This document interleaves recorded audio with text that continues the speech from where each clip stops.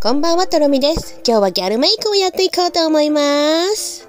マジ10年ぶりぐらいにするんだよね、ギャルメイク。だ記憶を呼び覚ましながらやっていきます。はい、カラコン装着完了。はい、グレータイプ？グレータイプって何？グレーの、なんだろう、ちょっと色素が薄くなるような色、顔やば、大丈夫？はい。まずは日焼け止めでしょう。これは、えー色補正の入ったもので、化粧下地と兼用で使っているものですね。はい、摩擦を与えないようにゆっくりと押しながら顔全体に広げていきます。もうおでことかね、特に大事。首にも広げていきます。はい、しっかりと塗れたらもう一つ下地を使います。今度は皮脂崩れ防止タイプです。これを皮脂が多いところ、ほっぺとかお鼻とかに塗って、これ清涼感もあるのでね、気持ちいいんですよ。メイク中汗かくところに塗っておくとね、あのメイク中に崩れたりしなくて助かります。お花にもしっかり塗った後おでこにも塗りましょう。おでこ大事だからね。ここピーあいやもう鳥の糞かよ。はいおでこにもしっかりと塗ってサラサラしてね気持ちいいのこれ。リキッドファンデーションを使います。水で濡らしたスポンジを使ってはいファンデーションを出してこれをですねやっぱり濃くなるところから塗っていくのがいいと思うので頬にのせてからそこから徐々に全顔に広げていくっていう手順で。もうこれはいつも同じですね。まずはほっぺから。ほっぺに塗った後今度は顔の下半身に伸ばしていきます。それからおでこ。そして目周り。そしてほんと最後にですねスポンジのファンデーションが残り少なくなった状態で鼻を塗ります。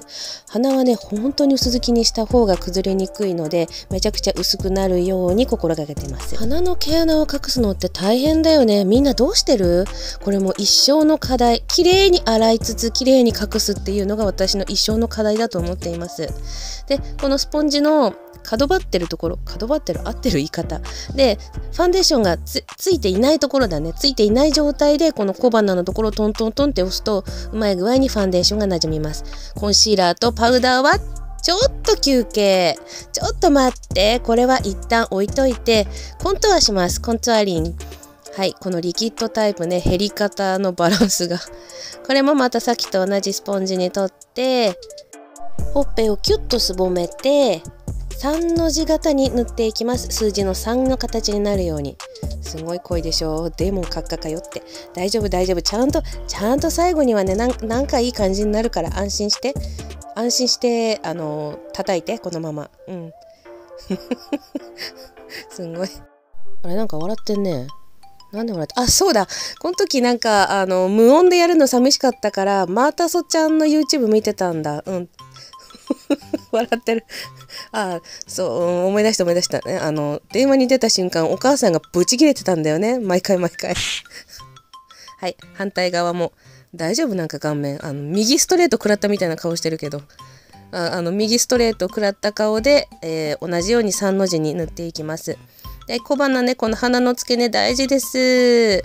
はいスポンジの尖ってるところでこれもなじませていきます。これ大事大事な工程です。はいしっかりなじみました。でさらにさらに削っていくよ。今回はめちゃくちゃ塗る。減りがすごい。これもう3個目なんだよねリピ買いしてます。斜めカットのブラシを使って塗っていくよ。はい、筆に取った後この蓋の部分でよく色をなじませてから。右ストレートはい思いっきり殴られておりますね。はいあの殴られた顔でこうやってしっかりと影を描いていきましょう。私のようなのっぺりとした顔立ちはねこうやってしっかりと陰影を作ってあげる。はいもうすごい顔してる。大丈夫？はいこれでなんとか、えー輪郭というものが手に入ったと思います。ギリギリねギリギリ。で今度はこれでね鼻鼻筋というものを持っていないので鼻筋というものを作っていきます。はい。鼻の付け根から眉毛の下まで濃い色をのせてここね大事彫りが深く見えるから。でもうちょっと明るい色をなんていうの？鼻筋に塗っていく鼻筋ないんだけどね。今鼻筋作ってるところ。うん。こういうところにこの色を塗ってね頑張って鼻筋というものを作っていく。欲しい鼻筋欲しい影を作って筋を通してこんな感じになりました。どうですか？すっぴんの時よりもかなりはっきりしてるでしょ？ポイントは指ハートです。アイブロウパウダーでアイブロウを描い違う違う眉毛を描いていきます。一番濃いところを取って眉尻から。メイクが濃け濃け。メイクが濃くなれば濃くなるほど眉毛はしっかりと描いていかないとバランスが悪くなるのでね。もうちょっと薄い色で真ん中を描いてさらに薄い色で眉頭を描いていきます大事眉毛はすごく大事だからいつも緊張しちゃう眉マスカラ塗ります最初は横向きにこうやってね液を付着させた後こうやって上向きにさっさっと毛の流れを整えていきます眉頭は上向き眉尻は横向きうんなんだはい、アイシャドウいきます。キラッキラのパレットです。これ本当にキラッキラ。韓国で買ってきたやつかな。めちゃくちゃ気に入ってる。この色使いますよ。大きめの筆を使います。これをアイホール全体に塗っていく。いやー、キラッキラ。超キラッキラなの。そういえばラメラメアイシャドウしか勝たんみたいに思ってた時あったなマットなものはマットなものでいい雰囲気出て今では大好きなんですけどねはいまたキラキラを今度は目尻の方にあ めっちゃ笑ってるはいはいまたそっちゃんそう わかるわかる。うん面白い。あのこの3日間ぐらいねマータソちゃんの動画の再再再再再ブームぐらいが来ててねめっちゃ見てる、うん、今日も見てる。あ今編集してる時もかかりっぱなしです。無音のまま。はい、こうやって目尻に重ねた後さらに薄い色を別の筆を取ってこうやってね上まぶたに塗っていきます。なんかこう境目をぼかしながらなおかつキラキラをのせていくっていう。そしてまたもう一つパレットを使います。こちらもラメタイプのパレットでこのね色があんまり出ないんだけどラメがとても綺麗で気に入ってるのこのパレットも。これは目の下の三角ゾーンに入れていきます。この工程で目の大きさが変わってくるからすごい大事なところ。ではいよいよ涙袋に入ります。あの顔しますよ。せーの。五木ひろし。はい、ひろし様の登場とともに今までいなかったはずの涙袋が出現いたしました。そのぷっくりとした部分にさらにリキッドのアイシャドウね、キラキラのラメのやつを、はい、もう一回です。再登場しております。ここにですね、またこのピンクのラメをのせていきます。やっぱキラキラ大事です。目頭にものれば目頭と涙袋とまぶたの上中心あたりにのせていくのがポイントでさらにさらに物足りないのでもうちょっと大粒のラメあちょっと在庫がね不足しているということで綿棒でもうそこをもうこそぎ取るように一生懸命かき集めております。はい。かき集めたこの大粒のラメちゃんを同じようにな涙袋と目頭とまぶたの上中心にのせました。あ、また出た。はい、こんにちは。いつも大変お世話になっております。はい、あのね上まぶたのこの中心に大粒のラメをのせるとねまばたきするたんびにキラキラキラキラ輝いててね華やかな目元になるんです。おすすめです。ではアイブロウパウダーを使って涙袋の影を描いていきます。あこんにちは。あ歌っちゃう。はい。もう本当にいつもお世話になっております。私にとって五木ひろし様は涙袋の神様でございます。うんいい感じ。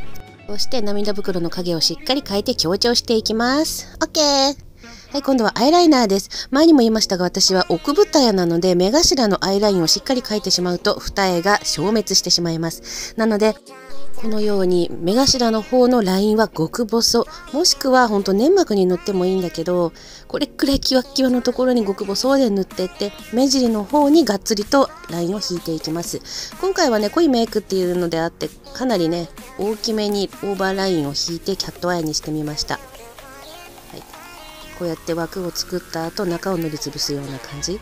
であのすいません。下のラインも書いたんだけど書くのに夢中になりすぎて全然取れてなかったのでカットしました。すいません。はいでこれはいつも使ってる一重さん奥舞台さん専用のマスカラ。違う。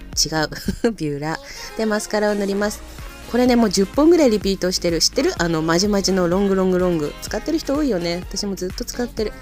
で今回この後つけまつげつけるのでそのつけまつげに地まつげをなじませてしまうのでマスカラの下地は省略いたしました。はいこの超ロングタイプのつけまつげ。もう普段こんなんつけないんだけどね。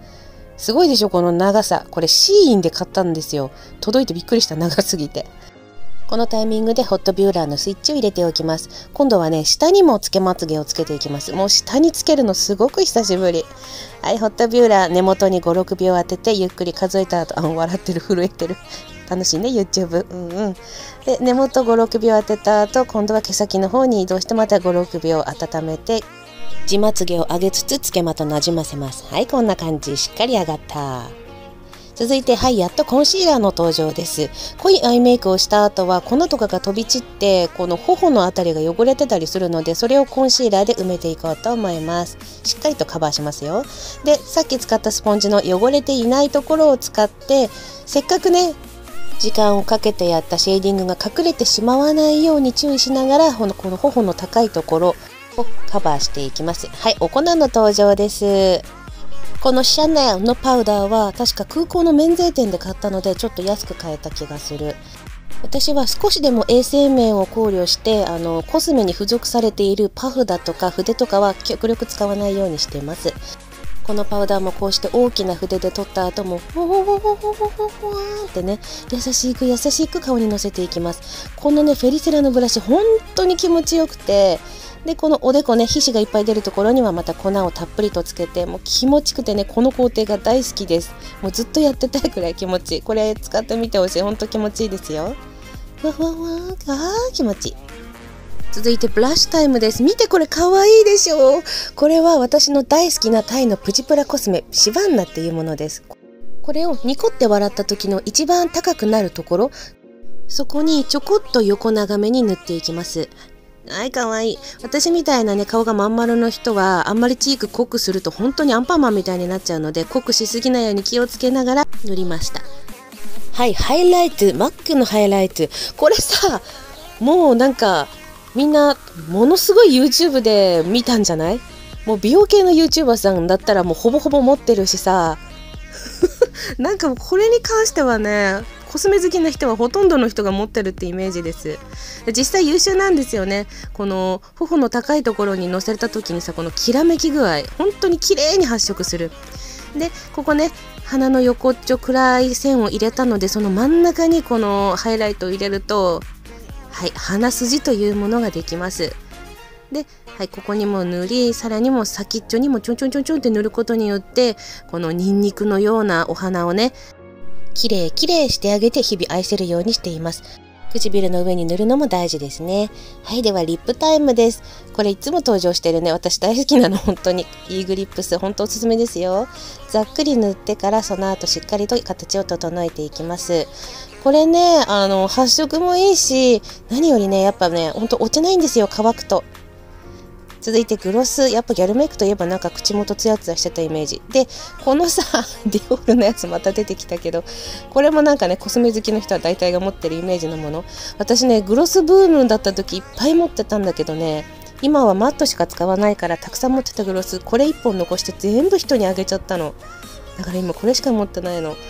うん YouTube 始めたしねもうちょっと買い足そうかなって思ってるところですそんな感じのメイク完成ですはい少々お待ちをはい、ただいま戻りました。髪型を少し整えてまいりました。いかがでしょうか？はい、ギャル？超かわいい遊びたい ため息ついております。はい。時計見てびっくりして、後ろ見てびっくりするっていう。そう、もうカーテンの外が明るいっていうことにびっくり。5時26分。え、あの、AM です。AM、えー、始めた時はね3時半ぐらいだったのにもう朝になってしまいました。そろそろこの動画も締めたいと思います。皆さんお付き合いありがとうございました。あと Twitter や Instagram やってます。概要欄にもリンクを貼ってありますのでよかったら皆さん飛んでみてください。この動画が良かったと思ったらチャンネル登録と高評価ボタンお願いいたします。それでは皆さんそろそろお休みの時間だと思います。いい夢を見てください。おやすみなさい。バイバイ。ありがとね